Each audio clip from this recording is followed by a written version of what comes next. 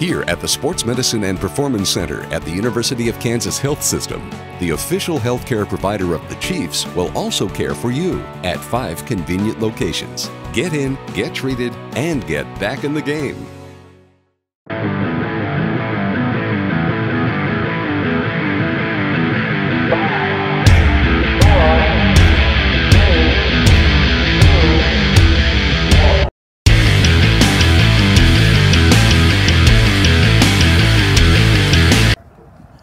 Dion Clisso with Preps KC right here, first day of practice at Blue Valley Northwest, defending state champions with Aiden Beheimer. And, uh, you know, it's been quite a build for you guys the last few years, and, and it culminated uh, in that state championship last year.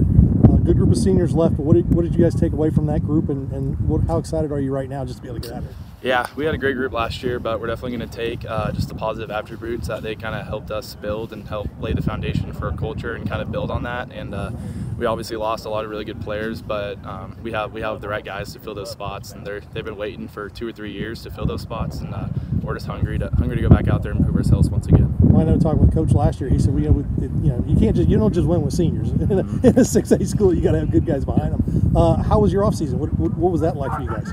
Uh, we had a really good off season. Uh, a lot of a lot of guys getting really good in the weight room and really good on the field, and uh, just a lot of guys getting comfortable um, in the starting starting roles and starting positions, and also getting kind of the backups uh, ready.